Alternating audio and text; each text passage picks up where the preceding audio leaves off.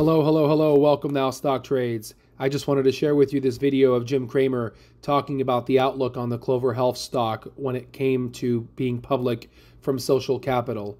Remember IPOC? Hope you enjoy the video. Please comment down below what you think. Health, CLOV. It made its mark on the FinTwit world. Shout out to the Sapphire and Atlas fan. And it just performed its change today while getting a $20 price target from Bank of America has partnerships with Walmart, and is the only Medicare stock not in the hundreds or even above 50 yet. With a market cap of 1.5 billion, we should be at least in the 30s. I got to know, are you bullish or bearish? You know, I, I, was I was bullish about it. Everybody, these things are so hard to follow, but you know, it did have that very big spike in December.